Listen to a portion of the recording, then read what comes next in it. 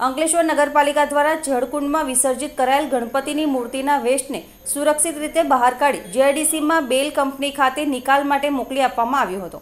અંકલેશ્વર નગરપાલિકા દ્વારા ગણપતિ વિસર્જન માટે બે કૃત્રિમ કુંડ બનાવવામાં આવ્યા હતા. જળકુંડ અને ભીડભંજન મંદિર પાછળ કૃત્રિમ તળાવમાં વિસર્જન કરવામાં આવ્યું હતું. બંને કુંડમાં કુલ સાતસો ને ઓગણસાઠ ગણપતિની મૂર્તિઓનું વિસર્જન કરવામાં આવ્યું હતું. અંકલેશ્વર નગરપાલિકા દ્વારા કૃત્રિમ તળાવ જળકુંડ ખાતે વિસર્જન કરાયેલ પીઓપીની મૂર્તિઓ અને માટીની મૂર્તિઓ તેમજ વેસ્ટને સુરક્ષિત રીતે બહાર કાઢવામાં આવ્યો હતો. અને બેલ ઇન્ફ્રાસ્ટ્રક્ચર કંપની ખાતે પ્રોસેસિંગ કરી તેનો નિકાલ કરવા માટે મોકલી આપવામાં આવ્યો હતો.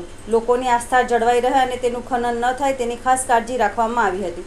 આ કામગીરી દરમિયાન નગરપાલિકાના sanitary inspector Raghuvirsinh Maida, engineer Alkesh Amdavadi અને incharge sanitary inspector Jayesh Solanki ઉપસ્થિત રહ્યા હતા.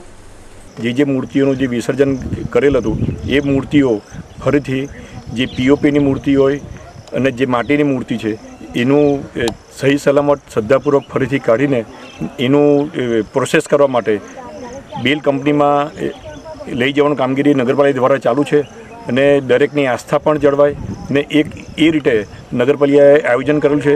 એમાં નગરપાલિકાના પ્રમુખશ્રી કારોબારી ચેરમેનશ્રી અને ચીફ ઓફિસર શ્રી અને સેનિટેશન ચેરમેનશ્રી દ્વારા જે સૂચનાનું અમે અમલવારી કરીને કામગીરી કરવામાં આવી રહેલ છે ને અત્યારે જે આ ટેમ્પામાં જે મૂર્તિઓનો જે વેસ્ટ છે ગણપતિની, એ એ ટોટલ લઈને બેલ કંપનીમાં જઈ રહેલ છે ને ત્યાંની એમનો પ્રોસેસ કરી નિકાલ કરવામાં આવશે.